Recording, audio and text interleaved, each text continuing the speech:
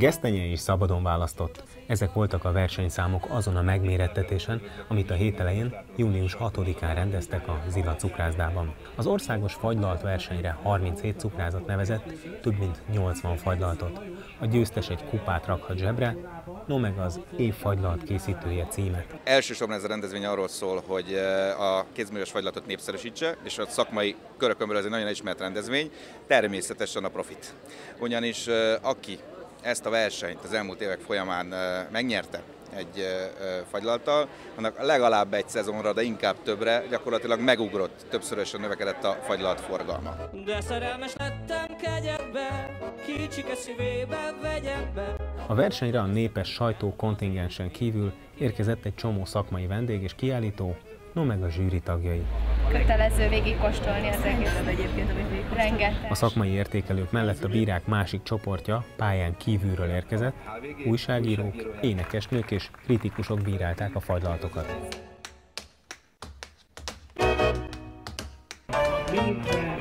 Jó munkát a zsűriknek, és jó kóstolást.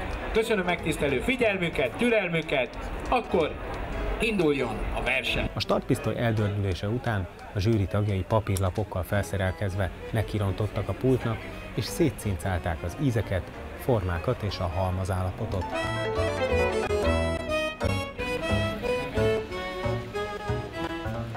Épp hogy elkezdődött az érdemi munka, leszakadt az ég, a zsűri és a vendégek az ernyők alá húzódva várták a vihar végét. Tulajdonképpen öt, öt olyan kategória van, ami szerint megvizsgáljuk. A legelső, amikor végignézzük az összes fagylaltot, és megnézzük azt, hogy a színe és a dekoráció az, az milyen. Nagyon fontos, hogy, hogy hogy néz ki külsőre. Ugye mivel itt egy versenyről van szó, ezért természetesen a dekoráció is nagyon sokat számít, és ahogy egyébként itt, itt láthatod, azért rengeteg féle, és hát sokszor túlzásokba és máskor nagyon jó ízlésű és nagyon okosan kitalált dizájn van. Ezen kívül ebben a pillanatban még ugye a, a színe, és mivel a kötelező rész az egy gesztenye, és gondolnánk, hogy alapvetően mindegyiknek ugyanolyan színe van, legalábbis én ezt gondoltam, ehhez képest eddig már kb. 15 színárnyalat volt.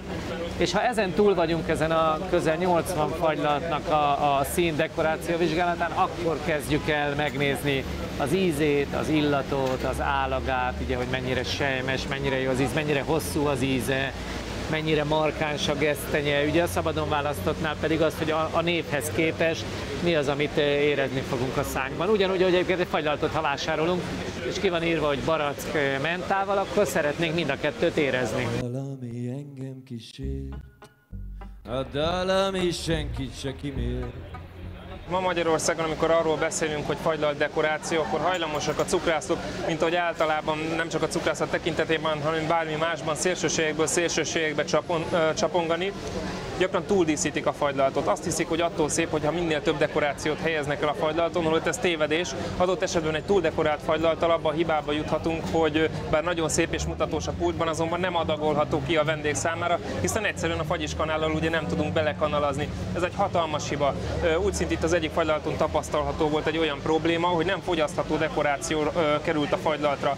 Ez gond, hogyha, hogyha ott van rajta a megyen például a szár, akkor mindenki elgondolhatja, hogy ezt nehéz kikanalazni, és aztán még nehezebb ízlésesen elfogyasztani, illetve az a nehéz gasztronómiai élményt okozni a fogyasztónak. A versenyzőkön kívül számos érdeklődő is volt az illacukrázdában, ők tanulni jöttek. Egymásból azért merítkeznek rendesen a cukrázók. Egyrészt ugye ez egy kamara kiállításra bővített rendezvény, tehát hogy megnézzük, hogy itt vannak e, fagylaltos cégek, tehát akik fagylalt e, e, mestereket, illetve cukrászokat szolgálnak ki alapanyaggal, eszközzel, stb. Tehát egyrészt ez egy, egy, egy kiállítással párosul.